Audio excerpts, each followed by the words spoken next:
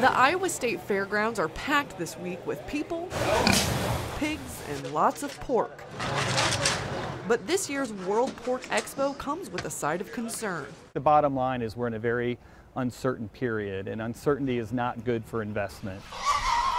In retaliation to recent tariffs from the U.S., Mexico joined China this week, announcing its own set of tariffs on several U.S. products, including pork. Those are two of the largest export markets for us. But some at the expo appreciate President Donald Trump's tough trade talks, like Neil Ronimus of Ohio. It's very important, I think, that we do something and not let these countries get away with some of the practices they have in the past. He and others say they are willing to be patient. I'd rather not settle for a nickel or two today when there's a better, more fair payoff in the future. They're a dedicated bunch, they're a committed bunch, and I think they also tend to be a, a glasses half full bunch. Jim Monroe is with the National Pork Producers Council. He says while farmers are being optimistic, these trade disputes are putting them to the test. U.S. pork producers and other farmers are innocent bystanders in these trade disputes and it's costing them significantly. Monroe says these trade disputes need to end, but it's not hurting their week in Des Moines. That's because if farmers know one thing, it's uncertainty.